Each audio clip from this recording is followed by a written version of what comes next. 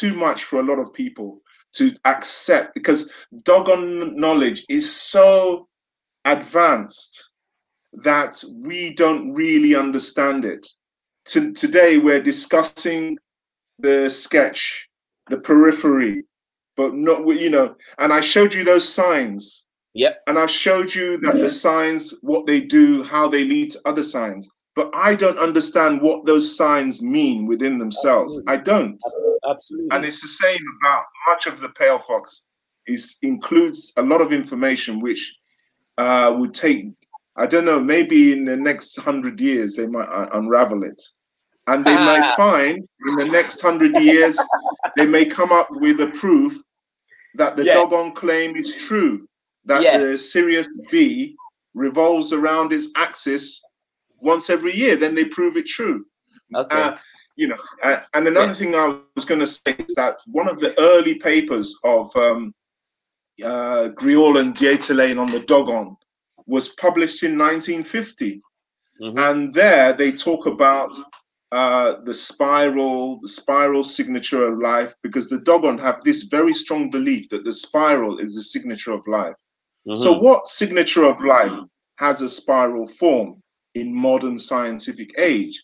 Well, we know DNA has a spiral form. It's a mm-hmm. spiral ladder. Yes, right. it's a heli. Uh, uh, so the Dogon talk about heliacal spirals and so on. But they mm-hmm. published this paper in 1950. When was DNA discovered by Watson and Crick? 1953. Three years later. So we have all this succession. I can give you three examples already. I've given you three examples here yeah, where Dogon knowledge have preceded Western knowledge. And then I'll tell you a few things too. Go on. Yeah, I, have given you three examples in this talk already yes. of Dogon yes. knowledge preceding Western knowledge. The first yes. I gave you was, uh, you know, Sirius B, which was discovered in 1862, whereas mm-hmm. the Dogon have a 700 year old tradition going back to the 1300s, say. Mm-hmm. Then the second one I talked about is, um, uh, you know, the, uh, the, the, the Dogon uh, knowledge of, um, uh, uh, you know, the, the, the signature of life mm-hmm. where they understand that the spiral is a signature of life.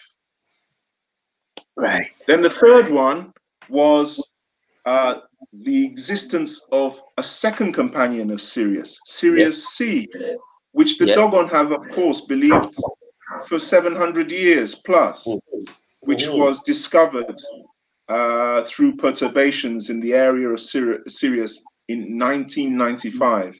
Mm-hmm. And, and I've mentioned the fourth, which has not yet been discovered, which is the um, uh, confirmation of the, uh, the, the revolution of Sirius B about its own axis. Mm-hmm. That has still to be confirmed whether it's but you yes. but the Dogon have never been proved wrong so far. yes, Dr. Kamalu. So, no. uh, so what all I would say is that the Dogon uh, knowledge is so advanced uh, that people find it hard to believe. That's all I'd say. Yes, um, Dr. Kamalu, that's been an excellent uh, exposition, and um, I love it. So I, I will just, for me, this this is not the space for me to um, be whether agree or disagree. We're sharing knowledge. Um, one of the yeah. things that you know, as uh, someone with a significant um, background in education, we've done, particularly with the way we socialize and educate, is we've been locking people's minds into boxes, into frameworks within which they find it difficult to to even imagine, you know, beyond. Yeah. And then, as we've even already discussed, and this was actually the fourth other scientific point you made, which has to do with the what we call our mind and our thoughts because you know you yeah. give that brilliant exposition of how you see those four stages being the ability to take what even what I'm speaking has come from a place which is supposed to be intangible. Yeah, it's it's Absolutely. it's a void. Yeah. So you've given Absolutely. us many. I'm just gonna a few passing comments and then I'll yeah, go on. Just ordinary speech itself is a miracle.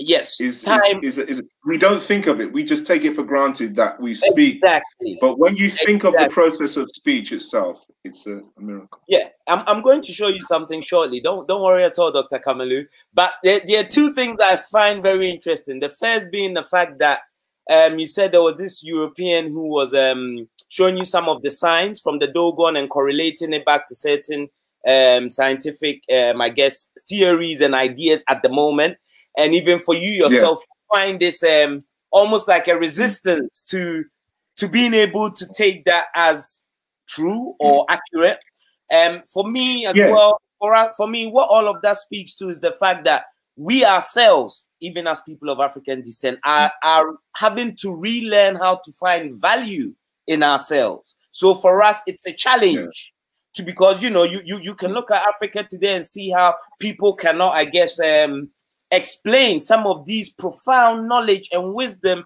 that has just been is is so commonplace it's just part of the lived experience. So it's been taken for granted to a degree where perhaps the, the, the lay person would just tell you oh that's what we've always done you know? I can't tell you why. It's just what we do. So mm-hmm. it almost starts to from the western mind where everything is made a commodity and given value you then you then don't respect it anymore because you see it as right. commonplace and nothing to do because, like you said, I've never seen any subatomic particles with my eyes. Um, I, I know you come from a scientific background, so perhaps you may have. But most of us believe mm. these theories that Western scientists give us, and we haven't seen the proof, felt the proof, touched the proof. But when it comes to Africans yes. offering what they know, somehow we mm. raise our bar of um, what's the word?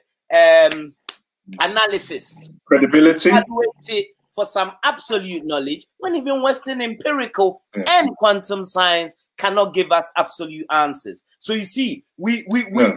in a sense we're doing ourselves a disservice. We have one set of criteria for somebody else while we give ourselves another set of criteria. Okay, and I'm going to before you even move on. The reason why I loved what you mentioned about the thought process, I'm going to share my screen um, for all of us. Bear with me. It's the first time that I'm doing this, so um, okay. Uh, I might get it um, correct or I might not. Let me see. Ah, there you go. So, um, recently, as I mentioned, we've um, we we've been running um, um a series of courses because the research has moved on quite profoundly, uh, where we're looking at these um scientific concepts and where we can locate them.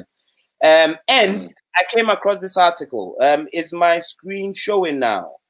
So this is an article published on uh, the 20th. Sorry. Dr. yes, I can see it now. So this is um, yes, October it's, it's the 20th, right? We have now a, a, a molecular genetics and director of quantum biology at the University of Surrey. Look what he's proposing. New research claims yeah. that consciousness itself is an energy field, right? Mm. So I go yeah. back, Dr. Kamalu, to the point that I always make. For those of us of African descent who know that we have some value to share with the world, it ultimately becomes our first responsibility to write some of these um, uh, subverted notions. And it becomes even, um, in a sense, easier for us because we have this untapped potential of knowledge, which again, since 2010, Western science is now telling us it's called chromosomic memory.